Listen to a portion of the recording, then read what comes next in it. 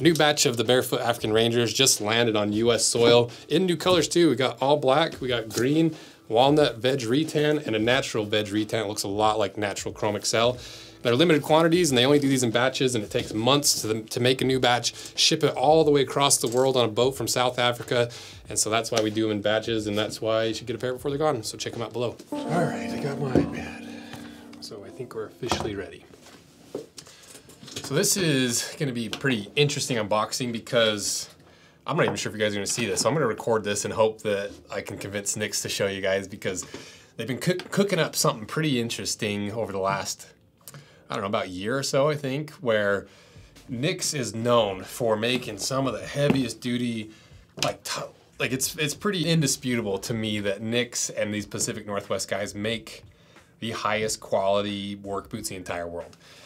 They're yeah, it's there's really not much more to it than that, we're being honest. Like they, that's just what they do. They they use the thickest, heaviest leathers. They use uh, Seidel's leather. That's they make work boot leather. They use these big chunky outsoles, all the leather through the midsole, quadruple stitch, triple stitch, double row of stitched. It's just it's it's it's a literal tool compared to most stylish boots, and the the guys at Nicks, I think I think uh, they wanted to do a little personal project, a little passion project to see what Nicks could do if they made an actual more dressy boot. And it's not that they don't make more casual and dressy boots because they have their 55 last, they have their Robert boot that's a really handsome little short, almost like Western looking boot. It kind of reminds me of like a short drifter. It's, it's part of where we got the inspiration from it, I'm sure. Um, they have casual versions of everything where it's they, they, got the smooth sole rather than the big luggy soles, and uh, but they, they don't they don't really have something that's like a, a true and true like dress boot. You know, most of them are heritage dress-ish or like work dress, but nothing fully dress because that's not what Nicks does. Nicks specializes in making the highest quality, most durable, hardest working work boots in the entire world. So when I saw they dropped a little teaser about a new sub brand called House Brandle, first of all, I was like, that's a pretty sick name. Like, reminds me of Game of Thrones, House Targaryen, House, uh, as I can't remember any of the freaking houses, House Stark, House Lannister.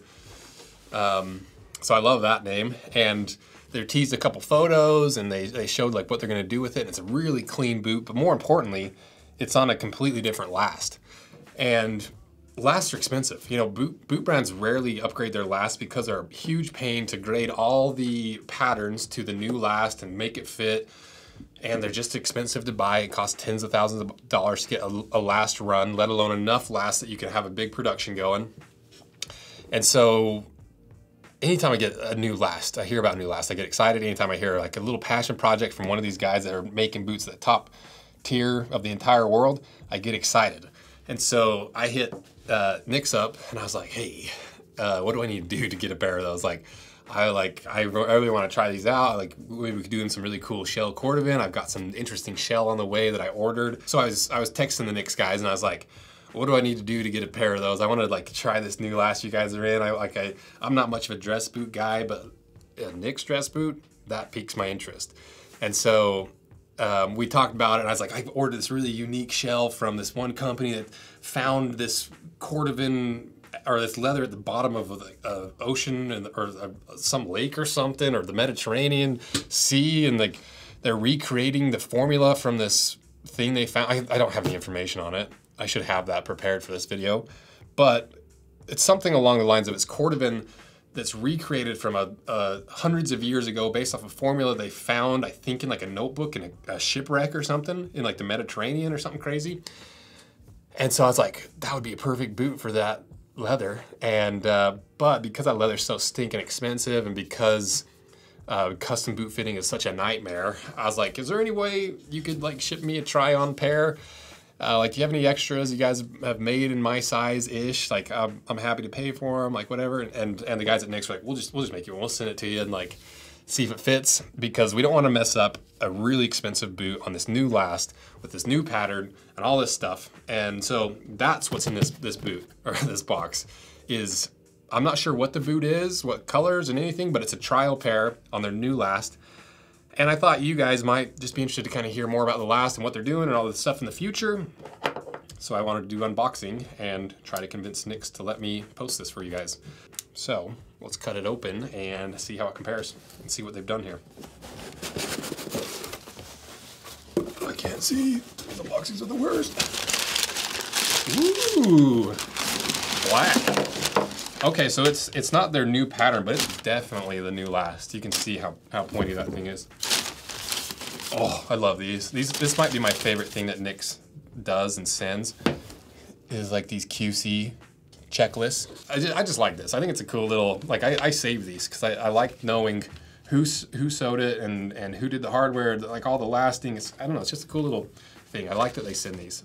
Whether it's just me they send it to or if it's everybody, if it isn't everybody, they should send it because I like, I like saving these little things. We got our other shoe boot. And that's it. Couple couple Nicks stickers with the classic American logger style. Love it. So, what do we have here? As I drop the brand new boots. That's a good looking boot. So the thing I like about this is you compare this to the 55 last that lots of people really, really love. It's not nearly as high of a hill it's it's a lot more of a casual dress heel stack versus more of a western in the 55 because to get that arch support in the 55 you really have to bring that heel up in order to get that contouring to actually fit your foot. Because if you had all that arch support on a lower dr dropped heel even a zero drop you'd be kind of like leaning back and it just it just doesn't work as well. The weight doesn't get just distributed nearly as well if it's not on a higher heel as you can clearly see from this cross section. So it's more of a heel of the like the uh, H and W last and, and the Munson last, and I like that because I, unless it's a cowboy boot or like a Western boot, I like lower heels because I'm tall, and uh, and they're just a little more comfortable to walk around in. You don't get that that like fancy like cowboy heel toeing around that I like doing in the in the drifter boots that we collaborate with Whites on. Um, so this is a nice like middle ground. This is almost, I, that's kind of what it is to me, honestly. And, and I think part of what I like, why I like this initially, is because this feels even more, it's similar to like a Western and, and uh, dress hybrid because it's a Pacific Northwest brand. And it's not, they're not necessarily Western, but they're clearly American. They're like the most American boot brands, maybe except for Origin. And it's a very American way of making boots. It's got the history, it's got the lineage and they're just made in a very American way. And so I, I like this concept, even just for this particular boot. And the whole brand, House Brandle concept is we're taking the heart of American boot making and seeing what they can do when it comes to more of a dress boot, the more fancy. Like it's almost like taking a blue collar brand and and uh, seeing what they can do with a white collar concept. So I like that juxtaposition. I like that contrast. And so, and and some people are, you know, they're gonna be like, oh, Nicks can't quite finish them as well as some of these other brands. And to me, that's part of the charm because that's what Nicks does. They, they make some of the highest quality boots, but they focus on the functionality, not the form. They still, you know, consider the form, but it's way more function than anything. And so to start blending those a little bit more to where it's 50-50 is really interesting versus like most dress boots. It's like 90% casual and dress and like 10% quality, especially, you know, it's the whole Alden thing where I'm like, I, th- I feel like the boots should be like high quality if you're going to pay the money for them. And some people are just like, no, we just want to be comfortable and like look nice. We don't care about the quality. So that's why I like this because I'm like, oh, that's like a cool infusion of both of those. But I wanted to kind of look at what the House Brandle website has on it. Because it's been a while since I've done a little dive on this and and this is clearly not their reg the pattern they're doing on the Brandle brand. This is their it's just their typical pattern really. that's that's a question I had about this. What is this last even called? Well, they're, they're calling it the 1925 last. They say its sleek almond shaped toe profile is a testament to its refined design. The the tighter SPI stitch per inch that means they've really cranked uh, the, the sewing machines to sew a lot more stitches per inch compared to work boots where they space them out a little bit more tighter stitching is allegedly less durable and a lot finer looking versus wider stitches are more durable. They use thicker thread, um, but it isn't as refined. And looking at these two boots, just to see if they if they did the stitch density different on this compared to the regular boots, it looks like they did do the stitch density tighter. What about the welt? The welt, the welt looks about the same density, and like, and once again, this is this isn't the Brandle boot. This is a a makeup boot for me or a, a, a trial size boot for me to, to get this dialed in before I send them that really fancy shell and have a, have a makeup boot that doesn't fit. Single row of stitch down on the welt not only adds an elegant touch, but also pays homage to, to uh, traditional stitch down work boots that form the foundation of this exceptional floor. Yeah, so they, they're right in line with like my thinking on this. I, like it's, it's a cool little concept.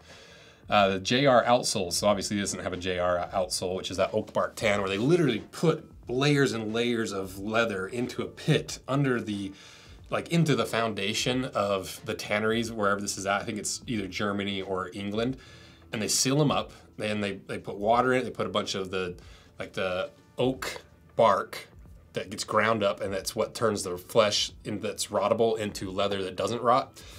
And it's like this year-long process. It makes really hard leather. It's the most durable leather in the world for outsoles and it's very expensive. So that's gonna be a cool little bit. They're also gonna be calfskin lined. These ones are not lined, once again, because they're just a try-on boot. And then the pièce de résistance. Brass accents throughout the entire boots. Oh, that's the cool thing about what they're gonna do is they're, they, are gonna put like a, a brass heel insert, which I think is a really cool little touch. You know, I'm, I'm a fan of always doing wacky stuff and doing things no one's done before, and I've never seen anyone do that on a boot. And so I'm, I'm really interested to see how that looks when it's all finished up. I think it's a nice little touch. Because that's the hard thing. Everyone's been making boots for so long, it's hard to find a little new thing that no one's ever done before. And uh, let's see what else they say. Looks like they're going to have a bunch of different leather colors and options for this with Wickett and Craig double stuff, Wickett and Craig uh, uh, a lot of double stuff. A gallon, gallon, gallon calfskin. I don't even know what that tannery is. I've never even heard of that tannery. Must be some uh, dress brand tannery that I'm not familiar with because I'm not a big dress boot guy. This is what I was trying to get at. So on their on their website about the boot, legacy, handcrafted by the best boot makers at Nicks, one boot per hide because they utilize some of the best parts of the hide. Fully lined. I'm interested to see what a fully lined Nicks boot feels like. I've never I've never had a pair of Nicks that's lined. Uh, the last, and then JR leather. So not only is the outsole leather, but it looks like the midsole, the heel, the toe puff, um, and the outsole are all from the JR tannery in Germany. So that's what I was talking about. That they they have a giant pit under the tannery that's specifically made for sealing up leather for a year or six months, whatever it is. I think the whole process takes a year, but six months in the pit, if I remember remember correctly. And uh, yes, and then cleaner finishes. So it, it's it's interesting. I'm I'm really curious to see how these turn out. So I think now let's try them on because I think we've done enough comparisons of the last, if we did, even did it. You can see the, the 1925 last compared to the H&W. Quite a bit more narrow. And then even wider is your Munson last. You can see completely different shapes, like not even really in the same ballpark. And then our cut in half 55. I don't, I don't even have a 55 last of any of these Pacific Northwest brands, just because it doesn't fit my foot very well, and I don't like my toes squished. Some people do. But yeah, you can see it's even different there. And maybe a better way to show this for the 55 compared to the 1925 is the stitching on the bottom. That kind of shows it better of the actual shape of where it's being sewn because that's right on the welt that goes all the way through there.